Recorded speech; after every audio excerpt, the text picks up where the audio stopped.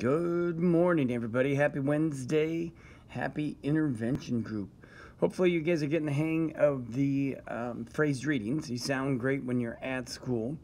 So, this is a, a continuation of the Henry and Mudge book where I took this from. So, A Sweetheart Dance. On this Valentine's Day, Henry's father and Henry's mother were going to a sweetheart dance. Henry and Mudge would be staying with Mrs. Hopper. Mrs. Hopper lived across the street in a big stone house with droopy trees and dark windows and a gargoyle on the door. Henry liked Mrs. Hopper, but he did not like her house. Then we are going to read Canstruction Creations. Now, the last book uh, we read about Hem- Remya Jose her invention won a competition or a contest. So today you're going to read another nonfiction book about a contest. So it's called Canstruction Creation. So people build these structures, these designs out of all kinds of cans. So the book is the first in the Making uh, Difference series. So each of the book tells about someone or something that taught people something and helped them in some way. So you can see the logo on the front. Now, it just so happens that uh, they're building out of cans of food. So we're going to take a look at the table of contents, which you should always do in a nonfiction book. And today, too, really make sure that you're taking time to read slowly and carefully, but also looking at all of the uh, pictures that are in here because those are important. So, table of contents, a contest to help people picking an idea, making a plan, getting the cans, ready, set, build, and the winners are feeding hungry families. Everyone wins. So, this is a contest that's fun, but it also helps people. So, think about that while you're reading. So, when we look at page two, take a look at that picture. So, with this, make sure you always read the headings a contest to help people. You always look at the pictures, which is like a dinosaur, pretty cool. And then you always read the caption that goes with the picture.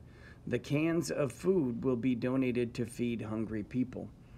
So each of these structures, each of these creations uses thousands of cans of food. The food actually is donated then to hungry families. So this is uh, how it's related to that theme of making a difference.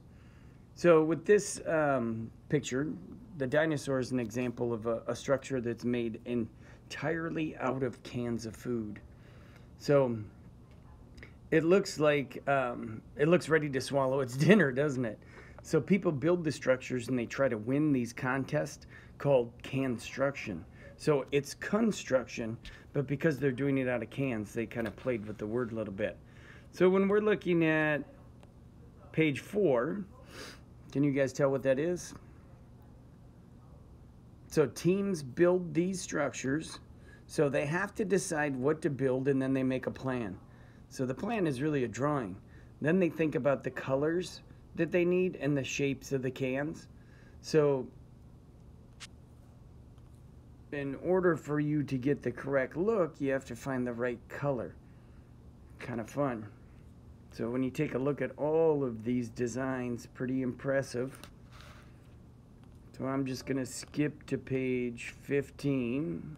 I like that one quite a bit. It's a globe.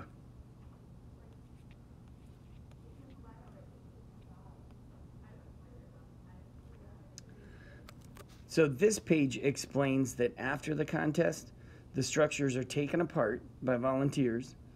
So volunteers are people who donate their time. They bag them up and then they get that food to families so families can eat it.